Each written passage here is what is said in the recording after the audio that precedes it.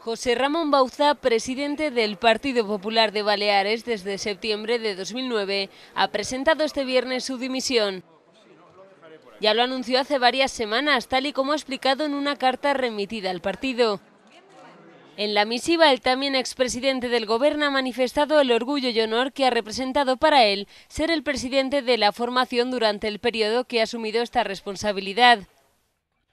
Bauza explica que dimite entendiendo que da por cumplido su compromiso adquirido en el comité de dirección celebrado el 25 de junio de 2015, en el sentido de que haría efectiva su dimisión tras presentarse un candidato que, cumpliendo los requisitos acordados en la citada reunión, quisiera optar a la presidencia.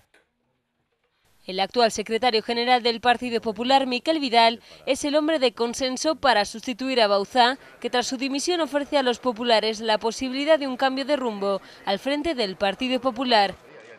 Un acuerdo que permite así el cese de hostilidades entre los sectores liderados por Sagreras y Bauzá, ya que este último ha seguido queriendo controlar el partido y en especial a su sucesor, pese a haber anunciado su dimisión el 26 de mayo.